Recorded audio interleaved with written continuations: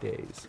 A fire erupts in a southeast Albuquerque home and traps a man inside. Tonight, he's lucky to be alive thanks to a complete stranger. Action 7 News reporter Alana Gold is here with a dramatic rescue.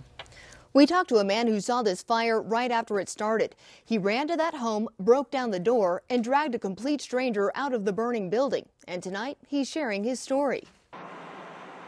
Firefighters showed up to this destroyed mobile home near Wyoming and Zuni Tuesday afternoon and found a man in his 30s clinging to life. Well, I was coming out of my uncle's house and I looked over and I saw fire. Michael Childs was feet away when he saw smoke and flames shooting from the roof.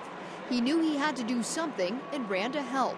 When I got over here, the door was locked, so I kicked it in. Childs busted into the home and says he couldn't miss a man lying down in bad shape and blocking the doorway. It was very scary. He tells us he had to take the door off the hinges and got this man out of the house in a matter of seconds. I grabbed him by underneath his arms and just pulled straight back and laid him into the yard. Firefighters say if Childs hadn't come to the rescue when he did, there's no telling what could have happened. I'm not a hero or nothing, I just doing what any person should do. And credit this man for putting his own life at risk to save a complete stranger.